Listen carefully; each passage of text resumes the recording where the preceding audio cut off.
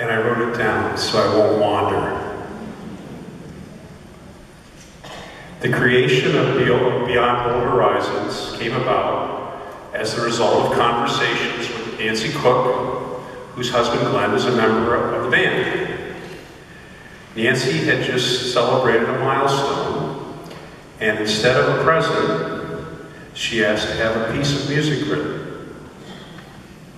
In discussing the type of piece this would be, Nancy and I talked about her love of Rochester and the wonderful things she had experienced living here raising a family, building a life, appreciating the natural beauty and the cultural advantages of our area. The dedication on the score describes what the piece is about, and it says, commissioned by Nancy Koch to celebrate the beauty and spirit of Rochester, New York. In writing the piece, through the music, I tried to evoke the spirit of Rochester, what it meant to Nancy and Glenn, and also I reflected on what it means to me, being a longtime resident of Rochester. In the piece, I tried to create musical images of Rochester. These aren't um, literal images, but more in feelings.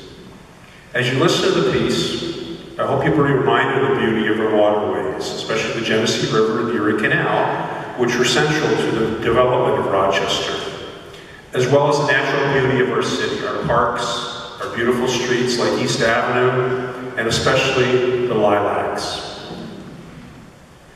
But unfortunately, life is not all about beauty.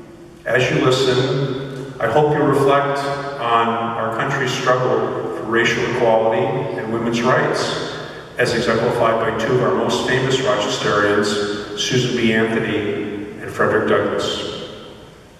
And also be reminded of the vibrancy of our city, the scientific innovation of George Eastman, Xerox, Bausch, Lomb, and the cultural excellence of institutions like the Rochester Philharmonic Orchestra, the Eastman School, the Memorial Art Gallery, the Xerox Rochester International Jazz Festival, and yes, our own New Horizons Band, who I'm very grateful for them performing the world premiere of this piece.